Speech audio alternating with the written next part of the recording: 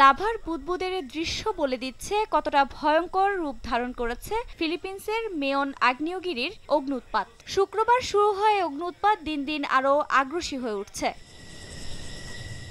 Lava উদ্গীরণ অব্যাহত থাকায় তেরো হাজার মানুষকে নিরাপদ আশ্রয়ে সরিয়ে নেওয়া হয়েছে। পরিস্থিতি আরও খারাপ হলে সামনে আরও অনেককে সরিয়ে নেওয়ার প্রস্তুতি নিয়ে রেখেছে কর্তৃপক্ষ।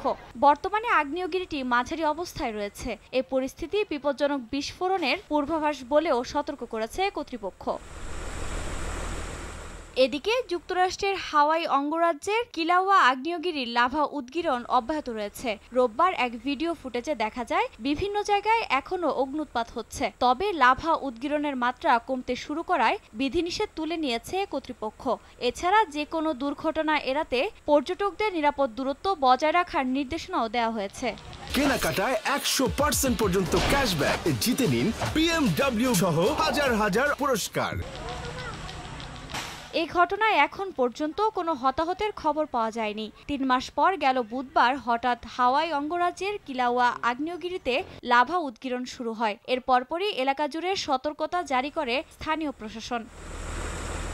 আফরিন মৌ, সময় সংবাদ।